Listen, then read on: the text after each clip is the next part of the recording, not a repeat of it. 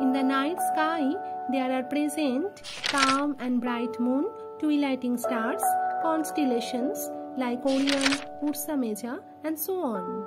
Imagine yourself on a new moon night somewhere far away from urban civilization. It is a clear night with stars and constellations.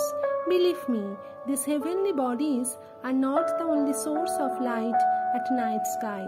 The atmosphere above us also gives out a faint glow. During Second World War in 1943 to 45, when all nights were blackout by order, Professor S.K. Mitra observed night glow with his telescope from the roof of the building at Kolkata. This faint glow is called night air glow. Air glow occurs when atoms and molecules in the upper atmosphere, that is ionosphere, excited by solar electromagnetic radiation, emit light in order to shed their excess energy. This faint light is clearly observed in the absence of sun from the sky.